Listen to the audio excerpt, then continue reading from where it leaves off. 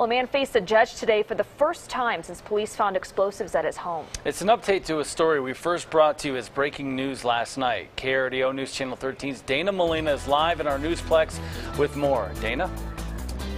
Rob Rana, 33-year-old Andy Marrero faces charges of possession of an explosive or incendiary device and possession of a dangerous weapon.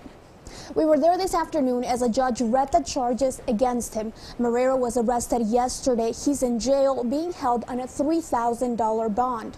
Now, police found several pipe bombs inside his place at Point View Apartments. The building was evacuated and the explosives unit was called in.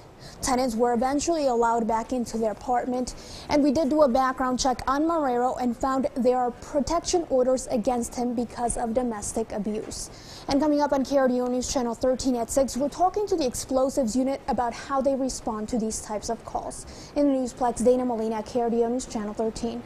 All right. Thank you, Dana.